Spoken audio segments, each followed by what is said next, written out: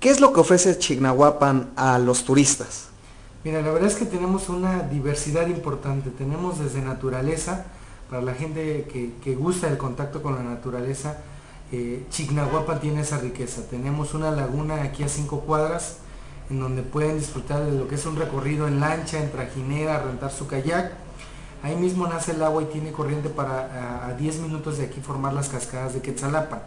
En las cascadas de Quetzalapan, pues bueno, ustedes pueden llegar al centro y hacer un recorrido a pie de río entre la naturaleza, hacer fotografía del paisaje, eh, tanto de flora, fauna endémica eh, de la región y obviamente disfrutar de la caída principal de la cascada, es una caída de más o menos 19 metros.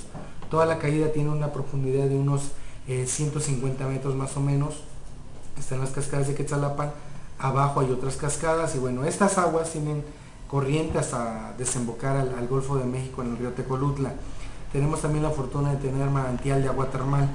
A 5 minutos de aquí del centro tenemos el complejo de las aguas termales de Chignahuapan, en donde obviamente el atractivo principal es el agua termal como tal. Hay albercas techadas al aire libre, albercas privadas, Ahí mismo en este complejo hay hoteles con jacuzzi, con agua termal y bueno, pueden disfrutar desde lo que es el temazcal, el spa y otras actividades que tienen en el hotel.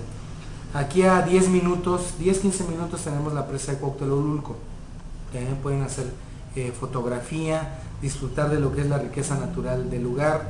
Tenemos lugares donde se, se puede realizar la pesca deportiva en Rancho Cozapa. Aquí mismo en la laguna tenemos algunos torneos. Está permitida la pesca con mosca eh, eh, o con caña. Entonces pueden disfrutar de lo que es la naturaleza. Por otra parte tenemos la diversidad cultural de, que nos da el ser un pueblo serrano como tal. Desde lo que es la, elaboración de las esferas navideñas, que obviamente nos han dado fama a nivel nacional e internacional. Y la verdad que es algo que presumimos mucho. Con, con mucho gusto podemos decir que las manos mexicanas de los artesanos poblanos chignahuapenses específicamente han decorado el atrio de Guadalupe en el Vaticano por, por dos años consecutivos. Estas esferas han llegado a adornar varios hogares, no solo de México. Las esferas se han colocado en diferentes países de Sudamérica, de Europa, algunas fábricas que ya han tenido la oportunidad de exportar a Estados Unidos. Entonces es parte de lo que nos da el orgullo.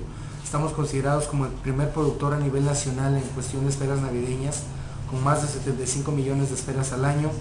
Tenemos un aproximado de 420 talleres familiares, unas seis fábricas y en donde, bueno, ustedes como turistas pueden venir y accesar un taller para ver cómo se hace esta artesanía.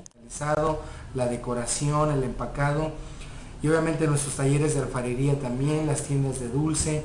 En cuestión de monumentos arquitectónicos aquí en el centro tenemos lo que es la parroquia Santiago Apóstol, una parroquia muy bonita de estilo barroco indígena eh, que plasma precisamente lo que somos como pueblo serrano la adoración que dejaron plasmada todavía algunos dioses como Quetzalcóatl y Tlaloc, las manos indígenas en esta fachada. Tenemos un kiosco muy pintoresco, único en toda Latinoamérica, es de forma octagonal, de estilo mudéjar. El estilo mudéjar es la combinación del estilo árabe con el hispano. Entonces queda plasmado parte de esa cultura y tradición que dejaron los mercaderes que llegaron a las antiguas ex haciendas como Atlamajac, Michac, Huacuyunga, eh, que fueron importantes en su época aquí en Chinahuapan. Tenemos la estatua de Gaspar Enaine Capulina. Capulina nació aquí en Chinahuapan, este comediante eh, conocido como el rey del humorismo blanco. Eh, es nacido aquí en Chinahuapan, es ajolote de corazón y bueno, tenemos un monumento dedicado a él. A tres cuadras de aquí del centro tenemos la Basílica Menor de la Inmaculada Concepción, que resguarda precisamente la figura de lo que es la Inmaculada Concepción. Es, una, es un monumento tal cual de 12 metros de alto, está considerada como la más grande en América Latina bajo techo está hecho totalmente de madera de cedro, fue esculpida, tallada por un escultor poblano, José Luis Silva, la celebramos cada 8 de diciembre y bueno, los invitamos a todos a que vengan a conocer. Que obviamente estando aquí en Chinahuapa no podemos olvidar la gastronomía, tenemos una diversa eh, gastronomía serrana que pueden encontrar desde los lacollitos serranos rellenos de arberjón hasta lo que es lo más eh, conocido y popular aquí en Chinahuapan, que es la barbacoa de borrego. Barbacoa en horno, con penca de maguey, el pulque, el pollo en hongo, el chicharrón prensado, el conejo en diferentes preparaciones como el chiltepín, el adobo, el mojo de ajo, eh, los dulces típicos como el jamoncillo, poca gente sabe que el jamoncillo o el dulce de pepita se realiza aquí en Chignahuapan.